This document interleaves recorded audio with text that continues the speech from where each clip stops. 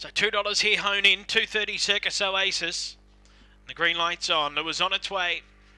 Race 8 on the program. Favourite box 2. Ready now. And they're racing. Hone in a touch slow to begin. Summer Sky out fast. There's Circus Oasis whizzing up. And Circus Oasis hit the lead. Hone in got to the outside and let rip.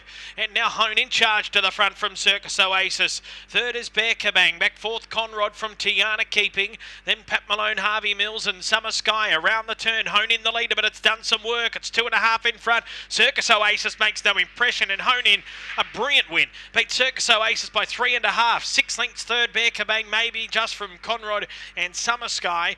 They've followed Pat Malone, Tiana Keeping in Harvey Mills. They run 25-17.